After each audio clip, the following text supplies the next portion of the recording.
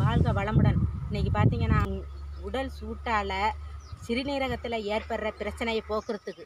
அதுக்கப்புறம் பார்த்தீங்கன்னா கல்லீரல் மண்ணீரல் வீக்கத்தை வந்து குறைக்கிறதுக்கு. அதுக்கப்புறம் பார்த்தீங்கன்னா குடல் உள்ள உள்ள புழுவை வெளியேற்றி குடலை சுத்தம் செய்கிறதுக்கு இது மாதிரி உள்ள பிரச்சனைகளுக்கு என்ன மாதிரி மூலிகையை நம்ம எடுத்துக்கிட்டா குணப்படுத்தலாம் அப்படின்னு பார்ப்போம்.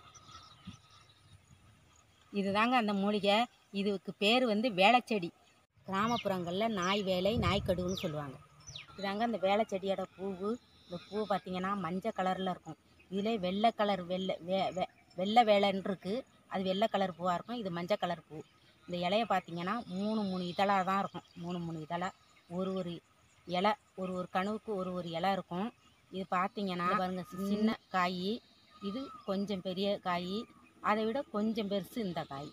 பாருங்கள் நீள நீளமாக மிளகாய் மாதிரி இருக்குது பாருங்கள் இது வந்து காஞ்சி போனாக்கா இதுக்குள்ளே இருக்கிறது வந்து கடுகு மாதிரி இருக்கும். இதாங்க காஞ்ச விதை. இந்த இந்த காஞ்ச விதையை பாருங்க கடுகு மாதிரி சின்ன சின்னதாக இருக்குது பாருங்க. இந்த கீரையை பார்த்திங்கன்னா இந்த வேலைக்கீரை வந்து பழக்கீரையோட பறித்து கடைஞ்சி சாப்பிடலாம். ஆனால் கொஞ்சம் கசப்பு தன்மையாக இருக்கும். சில பேருக்கு பார்த்தீங்கன்னா உடல் உஷ்ணத்தினால சிறுநீரக பாதையில் வந்து எரிச்சல் ஏற்படும். அப்படி உள்ளவங்க வந்து இந்த இலையை பறித்து நல்லா கசக்கி ரெண்டு காதுலையும் வச்சுக்கிட்டாங்கன்னா ஒரு அஞ்சு நிமிஷம் கழித்து அந்த சிறுநீரக எரிச்சல் வந்து குணமாயிடும். அப்புறம் வந்து சிறுநீர் கழிக்கும்போது அவங்களுக்கு அந்த எரிச்சல் இருக்காது.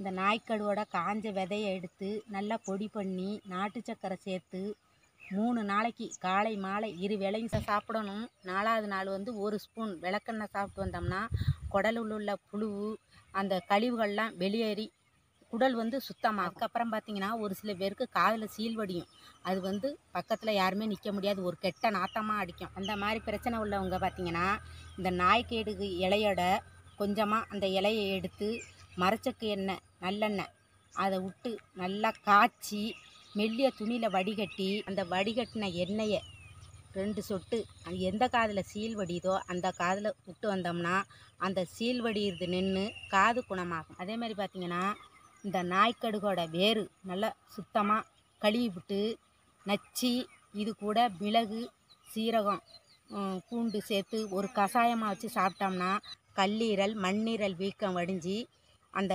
வீக்கம் வந்து குணமாகும். அதே மாதிரி நுனிலேருந்து அடி வரலையும் அந்த வேரோடு புழுங்கி பிடுங்கி சுத்தமாக அலசிவிட்டு பால் பசும்பாலோ இல்லை ஆட்டுப்பாலோ விட்டு நல்லா பட்டு போல் அரைச்சி எங்கெங்கே வீக்கம் இருக்கோ கை கால் மூட்டு வலி இதுக்கெல்லாம் தடை வந்தோம்னா அது வந்து சன்னமாக குறைஞ்சிரும். அதுக்கப்புறம் பார்த்திங்கன்னா இந்த விதை இருக்குது பார்த்திங்கன்னா இந்த விதையை நல்லா வறுத்து விட்டு ஒரு பட்டை மிளகாய் ரெண்டு பூண்டு வல்லு கொஞ்சம் பெருங்காயம் உப்பு ஒரு கட்டை புளி வச்சு அரைச்சி துவையலா சாதத்தில் வெறும் சாதத்துலேயும் போட்டு சாப்பிட்லாம். சும்மாயும் தொட்டுக்கலாம்.